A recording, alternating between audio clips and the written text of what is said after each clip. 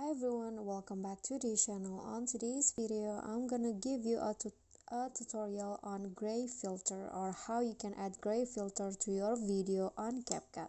So first, after you import your video, you can just go to adjust and set the brightness into 70, 17 like this and set the saturations and also exposure into minus 50 like this and then click on the check icon.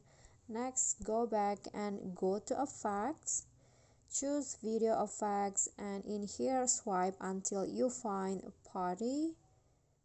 Scroll down until you find the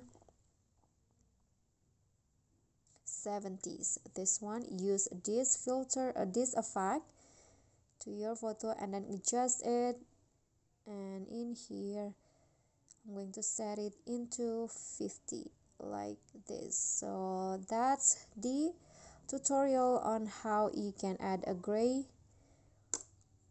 filter to your video in CapCut. Thank you guys so much for watching. I hope this tutorial will be helpful to you. Please click on the thanks below, leave a comment, click on the thumbs up icon and subscribe to our channel. See you at the following tutorial. Bye.